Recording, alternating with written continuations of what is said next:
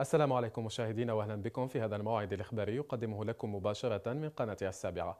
شهدت العاصمة كغيرها من ولايات الوطن اليوم تواصل الحراك الشعبي السلمي في جمعته الحادي عشر. المتظاهرون رفعوا ذات الشعارات السابقة وطالبوا بمحاسبة وجوه الفساد. إلى ذلك تباينت الآراء مؤخرا حول وجوب تعيين ممثلين عن الحراك الشعبي للخروج من الأزمة. تقول كهنة وعزيف في التقرير التالي. بين مواطنين واعين وآخرين مستمرين في حراك تعودوا عليه كل جمعة. هذا وين بدأت تحللنا؟ للشعب. السلطة تعود إلى الشعب. حلول الجزائر الديمقراطية. نرحلوا الجزائر دولة القانون. الكل متفق على ضرورة رحيل العصابة لكن لا بد من تنظيم المسيرات. ما ماشي غير ضبح ضبح ضبح كي تي في ما يبان عليه. تقول ماشي قاري. في بوست جيش الكومبورتمون تاعو دير. ما على باليش تقول بيطون. الرئيس عسل وسمن. وما نقولكش الشعب عسل وسمن. كي تصلح روحك تصلح عليك. هي جمعة حادية عشر والمتظاهرون لا ينفكون ولا يملون من مواصلة الحراك ولو في شهر رمضان. يتزامن اليوم العالمي للصحافة مع تواصل الحراك في جمعته الحادي عشر. مهدي فراح يتحدث لنا عن مهنة الصحافة في التقرير التالي. الثالث مايو يوم عالمي تحتفي به الصحافة. إعلاميون هنا وهناك والكل هدفهم إيصال الصورة كما هي. طاهر مقران يسعى بآلته لنقل الصورة كاملة. كل نهار الجمعة نخرجوا الحراك. نهار الجمعة الحراك آه عندهم دوكا تروا موا.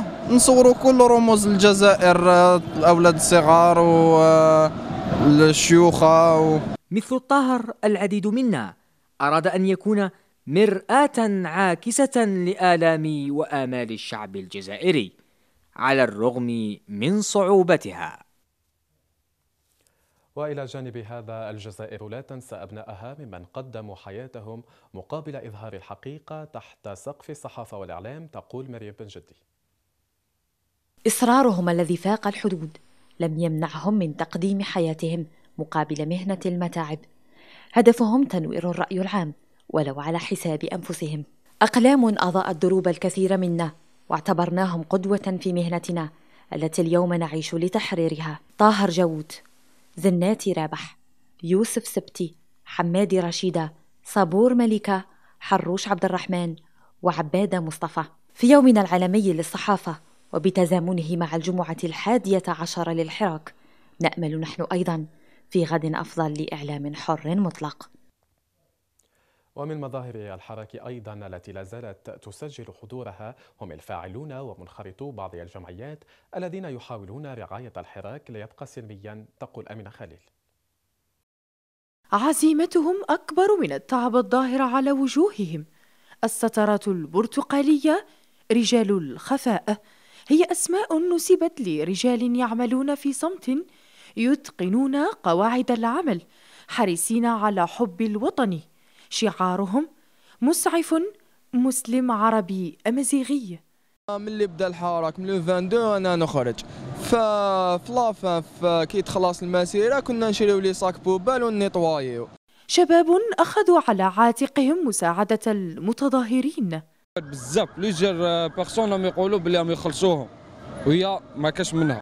بإرادة قوية وبصدر مفتوح ترحب الستارات البرتقالية بأبناء شعبها مؤدية واجبها بكل فخر واعتزاز. يا الشعب توما توسخوا حنا نقوا تمرضوا حنا نداووا تعياو حنا ما نعياوش. وفي موضوع آخر انقلبت حافلة نقل التلاميذ صبيحة اليوم في الطريق الوطني رقم ثلاثة الرابط بين قسنطينة وجالمة بسبب سوء الأحوال الجوية.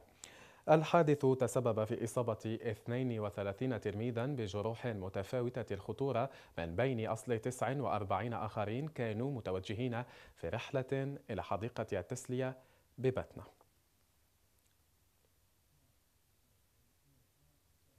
تفصلنا سوى ثلاثة أيام عن الشهر الفضيل وخوفا من تكرار الأحداث والمضاعفات ينصح الأطباء الجزائريون بأهمية اتباع نظام صحي غذائي للمزيد مع ماجدة شروي في دراسة جديدة شملت 13 دولة مسلمة تناول موضوعها اليوم التكويني الذي نظمته وزارة الصحة. تكشف أن الجزائريين من أكثر شعوب العالم حرصا على الصيام. هو برنامج غذائي صحي متوازن تجنبا للسمنة التي تعد مفتاحا لكل الأمراض. وينصح الأطباء بضرورة الإفطار إذا اقتضى الأمر لتجنب تسجيل مضاعفات أخرى خاصة لمرضى السكري مع وجوب الامتناع عن المنبهات.